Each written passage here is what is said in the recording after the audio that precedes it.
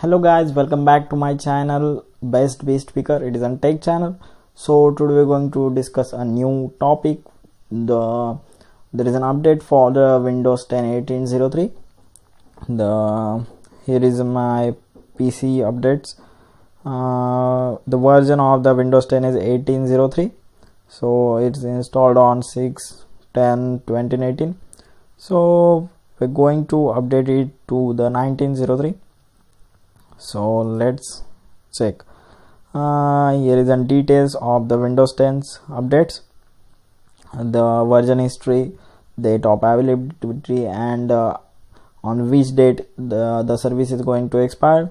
The this is uh, my here is on my version of the windows 10 1803 which is going to end in one month on the 12 november 2019 so we are going to upgrade on the 1903 so here is a link to get update on the 1903 so you need to down click on the update now to get download that file.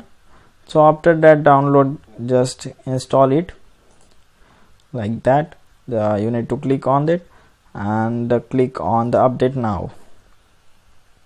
It will take some seconds to check your uh, PC is compatible or not. So my PC is compatible. So I will click on next. Then it will take some time to our downloading. Windows 10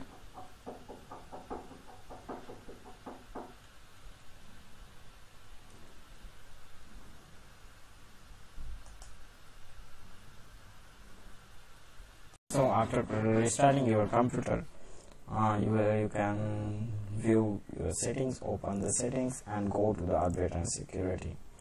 So now you can view that your uh, system windows 10 is updated. You can go to the os build info and scroll down.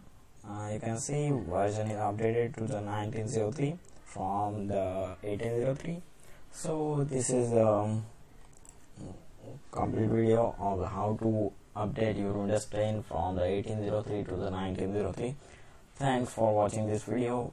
Subscribe my channel for the new updates. Thank you. If you have any question you can ask in, in the comment box. Thank you